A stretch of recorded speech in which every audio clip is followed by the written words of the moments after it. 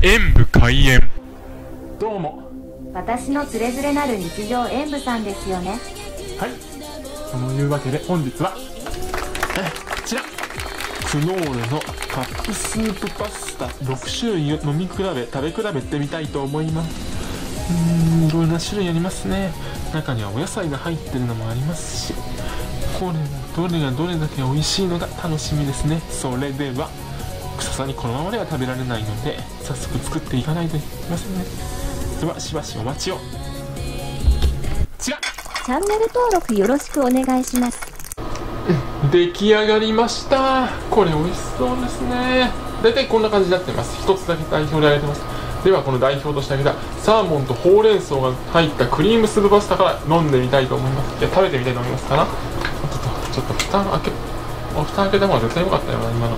ではいただきます。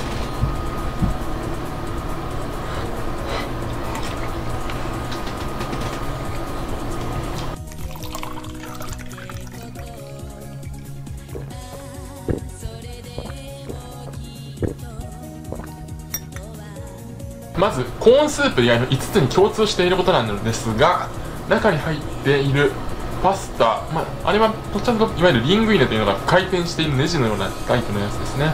それがしっかりともっちりとした食感があって単なるクリームスープではない単調さが薄れてありませんありませんでした。じゃ何を言ってんだ自分は。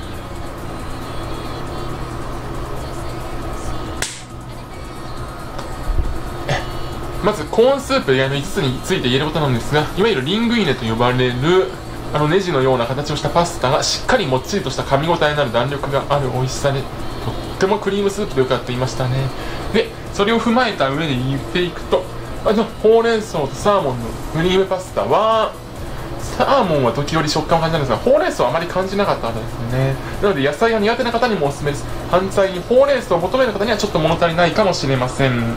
でその次の完熟トマトのスープパスタ。これは反対にトマトの酸味がかなり強く出ていたのでトマトの酸味を求める方にはおすすめですね。反対に苦手な方はうんまあそもそも買わないと思いますが避けた方がいいと思います。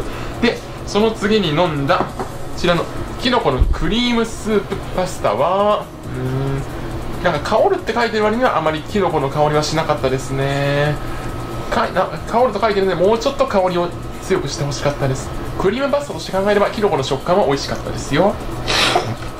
でたらこクリームスープパスタ。これは一口目飲んでしまうに海苔とかそういう和の雰囲気がするスープパスタで今までの3つとは違った美味しさだったんですがちょっとたらこがこれもまたどっかに行ってしまっている感があったのはそこは残念でしたね。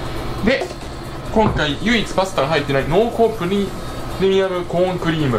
確かに濃厚でコーンが口の中に広がっていって美味しかったのですがはりパスタが入っているやつの後に飲んでしまうとちょっと物足りないかなという感は否めませんでした。まあ自分のの順番の問題もあるんですクルトン入れたくなったなと今までこれほど思ったことはなかったです。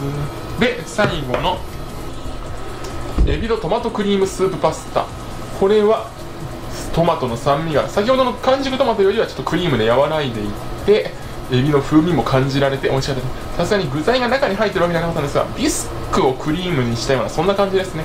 これが今回の中で一番自分の中ではお気に入りです。というわけでこちらの点数とさせていただきます。代表者としてはいフノールのカップスープでしっかり温まりました。